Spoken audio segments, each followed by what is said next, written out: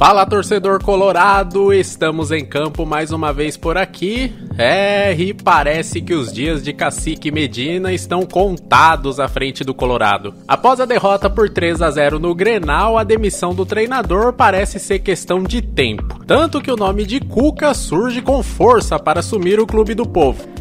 Segundo o jornalista Alexandre Ernst, o treinador campeão brasileiro e da Copa do Brasil na última temporada pelo Atlético Mineiro é o favorito ao cargo. Cuca está sem clube desde que chocou o futebol brasileiro ao pedir sua saída do Galo, alegando problemas familiares. Para convencê-lo, a cúpula colorada deve lhe dar carta branca para um processo de mudança de plantel. Outros nomes surgem por fora, como os de Mano Menezes, Odair Helman e Lisca. Vale lembrar que caso Medina seja demitido e o Inter de fato seja eliminado no gauchão, o novo treinador teria uma espécie de mini temporada, com 14 dias de preparação para para o início do Brasileirão. Outro ponto importante é a questão de um técnico estrangeiro que está totalmente descartada. É, meus amigos, aguardemos os desdobramentos.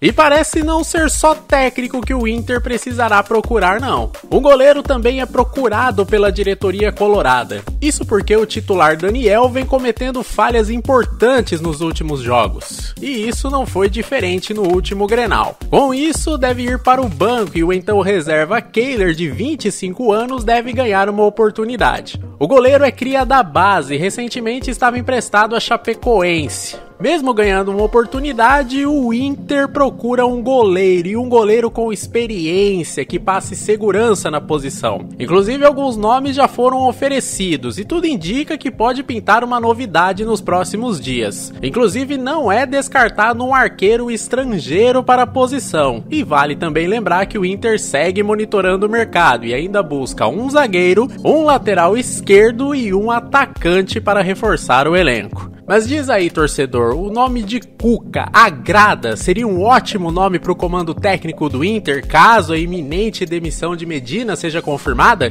E sobre goleiro, o Inter precisa realmente de um jogador com experiência na posição, um arqueiro com muita bagagem para compor esse elenco? Deixa aqui nos comentários a sua opinião, é importante demais. E é claro, aquele recado que nunca pode faltar, se você curtiu o vídeo, deixa o seu like, fortaleça o nosso canal. Se não é inscrito, se inscreva no canal ative o sininho para você não perder nenhum momento que entrarmos em campo. E é claro, não deixe de acessar o portal do colorado.com.br. Lá você tem tudo que há de melhor e as últimas notícias sobre o Clube do Povo, tudo em tempo real e fresquinho. Não deixem de acessar. Eu vou ficando por aqui, mas a qualquer momento estaremos de volta e é claro, saudações coloradas.